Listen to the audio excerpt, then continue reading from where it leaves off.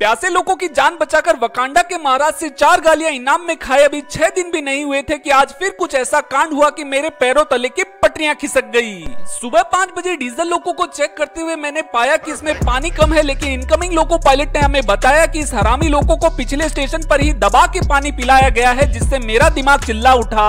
कुछ तो गड़बड़ है।